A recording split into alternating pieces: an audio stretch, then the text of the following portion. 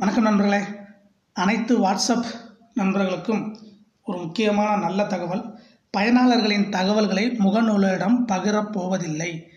என்ன காரணம்னா இப்போ வாட்ஸ்அப்பில் இருந்து எல்லா வெளியே வந்து சிக்னல் அதே மாதிரி டெலகிராம் இந்த மாதிரி ஆப்பை டவுன்லோட் பண்ணி இதிலேருந்து வெளியே வந்துட்டுருக்காங்க இதனால் இவங்களுடைய முடிவில் கொஞ்சம் பின்வாங்கிட்டாங்க. வீடியோவை பாருங்கள் கச்சவி அஞ்சலின் வாட்ஸ்அப் வாயிலாக பயனாளர்கள் அனுப்பும் செய்திகளையும் அவர்களது தனிப்பட்ட தகவல்களையும் முகநூல் ஃபேஸ்புக் நிறுவனத்துடன் பகிர மாட்டோம் என்று வாட்ஸ்அப் வலைதளம் விளக்கம் அளித்துள்ளது. ஃபேஸ்புக் நிறுவனத்துக்கு சொந்தமான கச்சேவி அஞ்சல் வலைதளம் அண்மையில் தனது கொள்கையில் மாற்றங்களை புகுத்தியது. கச்சேவி அஞ்சல் செயலியை பயன்படுத்துவோரின் தகவல்களை திரட்டி அவற்றை ஃபேஸ்புக் நிறுவனத்துக்கு வணிக நோக்கில் அளிப்பது அதில் ஒன்றாகும். இது உலகம் முழுவதும் கட்செவி அஞ்சல் செயலி பயனாளர்களிடையே மிகவும் பரபரப்பை ஏற்படுத்தியது. இதையடுத்து உலகம் முழுவதும் ஏராளமானோர் கட்செவி அஞ்சல் வலைதளத்தை விடுத்து வேறு சமூக வலைதளங்களுக்கு மாறும் நிலை ஏற்பட்டுள்ளது.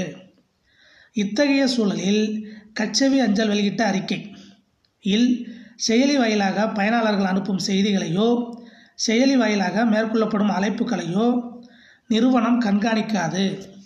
பயனாளர்களின் தகவல்களை விளம்பரங்களுக்காக ஃபேஸ்புக் நிறுவனத்திடம் அளிக்கப் போவதில்லை. புதிய கொள்கைகள் பயனாளர்களின் தன்மறைப்பு நிலைக்கு எந்தவித பாதிப்பையும் ஏற்படுத்தாது. அப்படின்னு சொல்லியிருக்காங்க. பயனாளர்களிடமிருந்து எந்த மாதிரியான தகவல்களை பெறுகிறோம் என்பது குறித்து வெளிப்படைத்தன்மை ஏற்படுத்துவதற்காகவே கொள்கையில் திருத்தங்கள் மேற்கொள்ளப்பட்டன. பிஸ்னஸ் கணக்கின் கீழ் வர்த்தக ரீதியாக கச்சேவி அஞ்சல் சேவையை பயன்படுத்துவோரின் தகவல்கள் மட்டுமே வணிக நோக்கில் பகிரப்பட உள்ளது. அந்த தகவல் கூட பயனாளர்களின் அனுமதி அளித்தால் மட்டுமே பகிரப்படும் என்று அந்த அறிக்கையில் குறிப்பிடப்பட்டுள்ளது. இதே போன்ற வீடியோக்களை பெற நம்ம சேனலை சப்ஸ்கிரைப் பண்ணுங்கள் வீடியோ பிடிச்சிருந்தால் ஷேர் பண்ணுங்கள் லைக் பண்ணுங்கள் கமெண்ட் பண்ணுங்கள் நன்றி வணக்கம்.